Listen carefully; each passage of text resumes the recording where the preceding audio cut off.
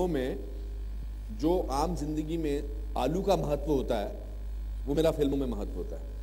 आलू हर सब्ज़ी में चला जाता है। आलू मटर, आलू गोभी, आलू गन आलू पालक, आलू मीट, आलू ये सब। I think I am like that in real life also I don't जज people and because I don't जज people I can be friends with everybody and it's not only with stars और it's not but other people also I don't जज माई driver I don't जज माई spot boy I don't जज the चौकीदार Now, I- Okay, let me. and also, I must tell you that uh, people have been, are very ins- it's come, it comes across कि जो फिल्मों में होते हैं बड़े strong होते हैं. I think film people are the most fragile people. They can easily get hurt because every Friday decides their future. You can ask me differently. No, let me rephrase the question. Why do people in the film industry, when asked about anybody else, are always diplomatic? Why don't? Why can't they speak upfront? Because we are scared that it will be misunderstood. It will go against us.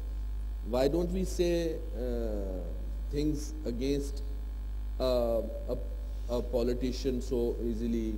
Why don't we say? But I think I still feel that film industry is much better a place because equations keep changing. So it's very difficult to say, and you can only say it to the person you trust. I may not want to say something to the press that I don't like so and so. If I have to say something, I'll say it to the person separately, basically. Okay. You have always taken, I saw you on television uh, when Anna Hazare was doing the thing in Delhi, you were there, and you have always stood up and made your political views very clear and things like that. Have you ever thought of joining politics?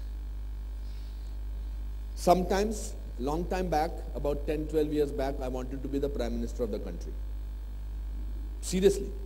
I said that I want, if I want to, if I think that the system is not right, I must change it. And I must make an, and I'm a dreamer. So I used to tell my fr- friends that one day I will be the prime minister of this country. But I think now I'm much more realistic. At the present stage, for another five years, I think we will only have one MP in the House, and maybe for next year, seven years later, uh, I may join politics. But it's not right now. There is, it's not in my radar. So you will also join politics, then Sikandar will join politics, then you'll have, I- I then you'll have dynastic politics. I will, I will only want to be known as an actor. That's my first and last uh, identification. I would like that. Okay. So, since you want to be known as an actor, Why do I feel that you are going to trap me? No, I'm trying to. I'm not. Uh, I wish Sonia had given me more time, but uh, okay. You said you want to be known as an actor. Yeah, that's primarily So my my question to you then is, if you were to be reborn as an actor, which actor would you be like to be reborn as? only as Anupam Kher.